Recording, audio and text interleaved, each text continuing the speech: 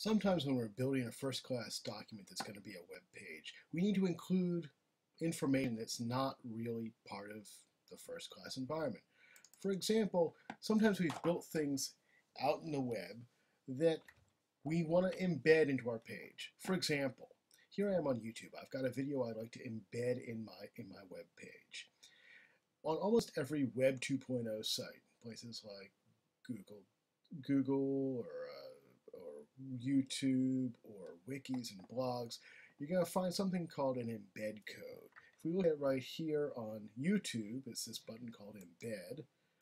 If I click it, it gives me this little window full of just horrifying looking HTML code.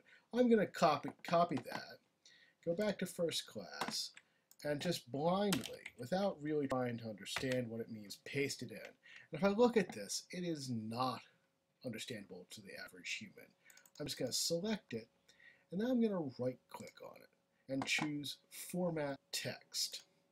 Format Text gives me all sorts of options, bold, underline, italic. I don't care about those. Remember how I said this was really ugly HTML? We want to check the literal HTML box. Okay?